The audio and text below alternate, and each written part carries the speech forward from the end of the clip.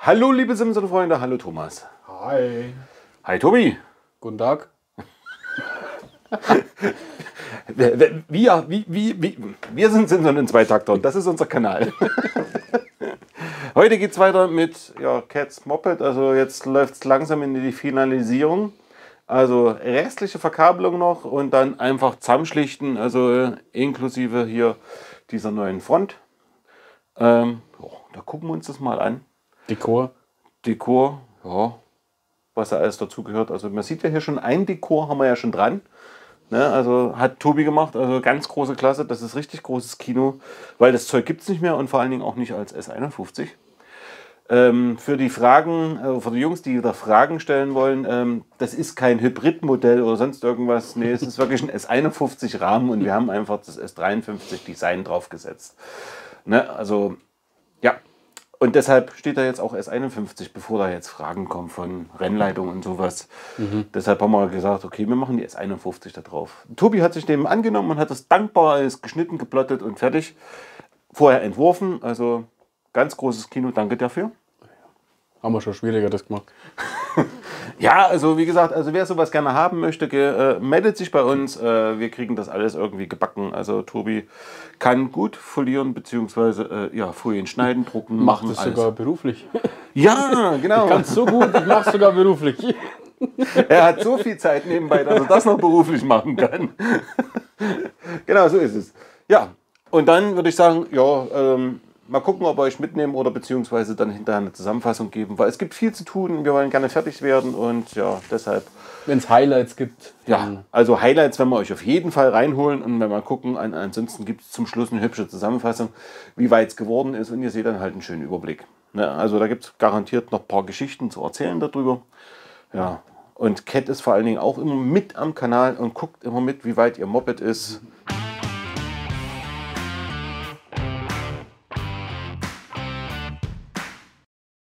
Hallo liebe Simson-Freunde, willkommen zurück. Ähm, leider gab es doch keine Highlights, also wir haben vor uns hingearbeitet und haben einfach das Moped jetzt ja komplettiert. Ähm, wir gehen am besten mal durch. Das letzte Mal hat man ja schon gesagt, okay, dass wir halt im Krümmer noch gearbeitet haben. Also der Krümmer ist jetzt so weit wie möglich gekürzt. Wir haben hier vorne diese Kalotte angebracht, also praktisch diese Schraubkalotte oder diesen, ja, was ähnlich wie eine Kalotte aussieht. Da kommt Thomas nachher gleich nochmal ran zu mir und guckt sich das nochmal genauer an. So, dann haben wir natürlich vorne jetzt die Kanzel aufgebaut. Äh, Elektrik ist fertig. Also wir gucken mal durch. Also Zündung an. Hier vorne haben wir jetzt ein Standlicht dran. Dann haben wir hier Blinker rechts und links. Genau, Aufblendlicht geht natürlich erst, wenn der Motor läuft. Äh, Hupe funktioniert auch. Ne? Und ansonsten haben wir einen vorderen Bremslichtschalter, den sieht man hier hinten, dass das Bremslicht funktioniert. Und den hinteren Bremslichtschalter, siehst du schon? Ja. ja. Also funktioniert auch alles. Also Elektrik ist erstmal durch, soweit so gut. Ähm, ansonsten, ja, Auspuff haben wir festgemacht. Wir haben natürlich eine Wabezündung drin. Äh, Tachowellen sind alle angeschlossen. Müssen wir mal gucken, wie wir die nachher noch verlegen. Ob wir die jetzt noch irgendwo festmachen müssen oder irgendwie müssen wir dann mal schauen. Genau. Und ansonsten ist das Moped jetzt erstmal fertig. Äh, was noch fehlt, ist ein Benzinhahn. Den habe ich vergessen zu bestellen. Ähm, beziehungsweise ich habe einen bestellt, ich finde ihn aber leider nicht. Ja, also müssen wir gucken, dass wir dann halt ja, den Benzinhahn dann jetzt dann noch nächste Woche noch einbauen. Tobi hat gemeint, er hat noch einen, also von der Sache her. Der ist übrigens schon los, der musste nach Hause. Von der Sache her sind wir jetzt erstmal nur noch zu zweit. Wir sollen aber schöne Grüße ausrichten. Richtig. Also, schöne Grüße von Tobi ne, an alle. Ähm, jetzt ist das Design auch vollendet. Also, jetzt könnt ihr das mal komplett sehen. Also, ich finde es richtig klasse. Also, es sieht richtig gut aus. Da vorne die Maske, die haben wir auch noch schön. Die habe ich lackiert. Ähm, Thomas, kommst mal her, guckst das mal an. Da bist du ein bisschen näher dran. Also ich habe es jetzt momentan so, dass es außen weiß ist und hier innen haben wir jetzt ein schwarzes Design. Also auch hier hinten drin ist es schwarz. Und ich finde, das sieht recht gut aus. Ne, bringt auch nicht so viel Helligkeit hier rein, also dass man das besser ablesen kann.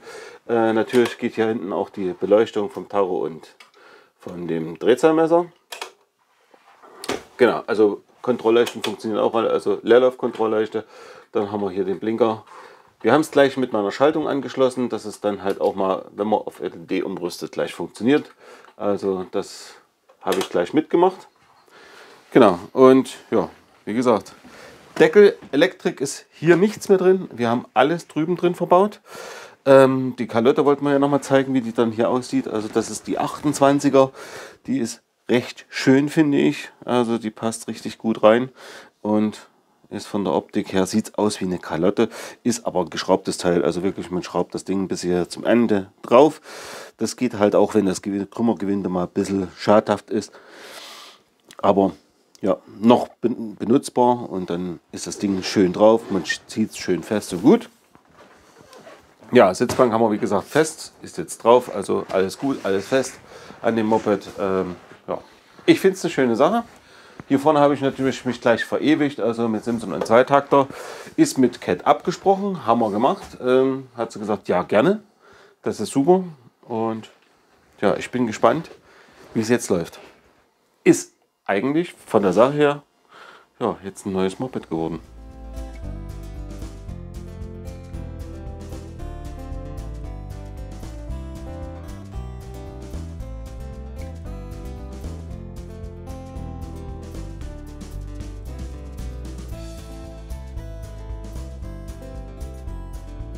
Winter ist und Cat holt heute ihr Moped ab. Also ja, steht schon alles da. Wir warten nur noch auf Cat, die ist heute mit der Bahn hierher gekommen und ja, wir schauen uns das mal an, wie das halt so wird. So, so, dann gucken wir mal. Also Cat ist jetzt angekommen. Du darfst schon reinkommen, ja? Guck mal, da ist ein Moped. Okay. Was meinst du? Ja, ich hat zwei Räder, das ist schon mal gut. Aufgeregt? Ja. Gut. Na, dann mache ich es mal auf. Dann gucken wir mal. Mal schön langsam mal runter gucken. Also, du hast ja gesagt Enduro, ne? Haben wir schon einmal. Gut, du hast so gesagt, also mit Kanzel. Haben wir auch. Mit breitem Lenker. Mit den sechseckigen Blinkern. Mit dem Tank. Und mit dem Heck.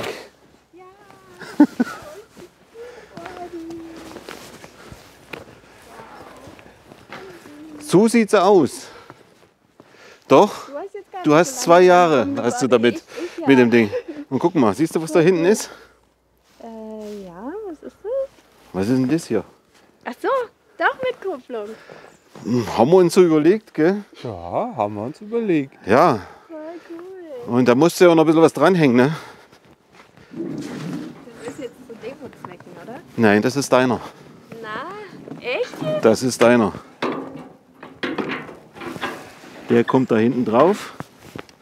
Den müssen wir noch mal kurz gucken, Thomas. Weil es gepulvert, deshalb passt er noch nicht richtig. Das ist jetzt deiner. Also mit Hänger, mit Beleuchtung, dein Kennzeichen ist auch schon hinten dran. Also wir haben alles schon fix und fertig. Den kannst du noch sozusagen dann hinten dran nehmen. Neue Bereifung haben wir drauf, die Räder haben wir auch äh, Pulver beschichten lassen. Äh, neu gelagert ist das ganze Ding, also fix und fertig. Ähm, Lichtanlage ist neu, haben wir gemacht, auch zum Anstöpseln da. Also einmal die Nase nach unten, weil hier unten ist so ein kleines Ding da. Und wenn die Nase unten ist, dann kannst du ihn auch reinstecken, reinstecken und dann wird er auch funktionieren. Kannst du hinten mal schauen? Ja. Dann blinkt das. Dann blinkt das auf der Seite. Dann geht auch das Licht und geht auch das Bremslicht. Also ist alles fix und fertig. Angeschlossen. Boah. Danke, danke, danke. Genau. Danke, danke. Den hatte ich noch und den gebe ich jetzt dir. Oh. Ich weiß gar nicht, was ich sagen soll. Danke, reicht. genau. Und dann, ja. Das ist er. So sieht's aus. Und dann musst du bloß noch einmal fahren. Guckst du mal. Probier mal, ob du anbringst. Weißt du noch, wie es geht? Vielleicht. Vielleicht. Aber der ist jetzt auch mit Schock, ne? Ja, es ist alles ganz normal, wie dein Original-Moped, wie früher.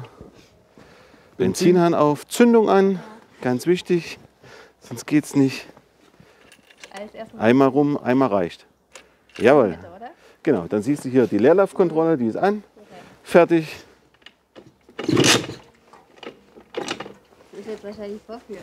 Das ist halt so. Ja, passt. Es ist.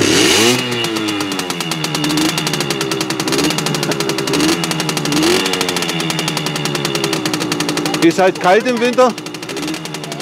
Und da geht es halt mal so.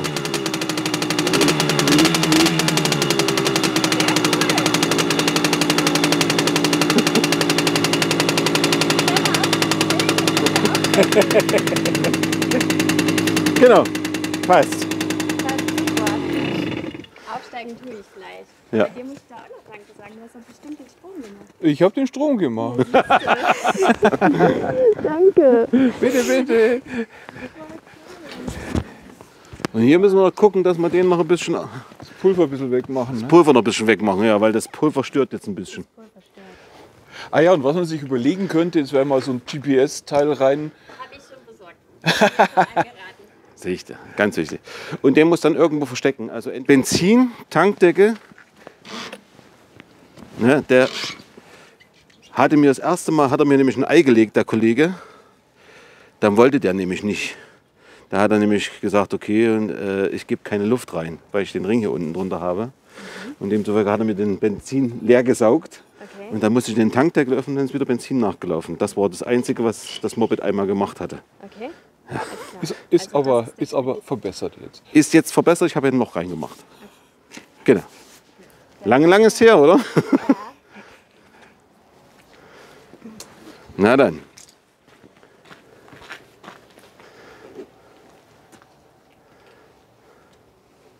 Offen haben wir es ja. Zündung an, jawohl. Einmal drehen, bis das Licht brennt, jawohl.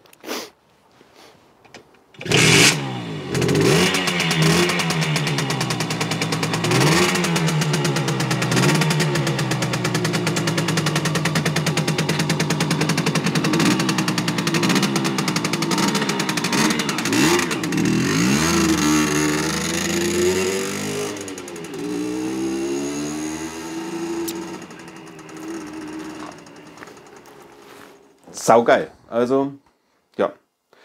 So sieht's aus. Und ja, wenn noch Fragen sind, gerne bei uns melden. Ansonsten kann ich nur sagen, ähm, ja, den Abo-Button unten unter dem Video klicken mit dem Daumen hoch und der Glocke daneben und dann seid ihr gleich mit dabei, wenn es wieder weitergeht mit neuen Projekten. Es kommt was Neues. Ich habe schon das nächste wieder in Aussicht. Also da sind noch zwei Projekte, die ich jetzt dann gleich noch anfangen werde. Also Anfang Dezember geht es los mit dem neuen garantiert. Also ansonsten Daumen hoch gerne und dann sage ich nur, macht's nach, macht's besser und traut euch was. Bis dahin. Ciao. Ciao.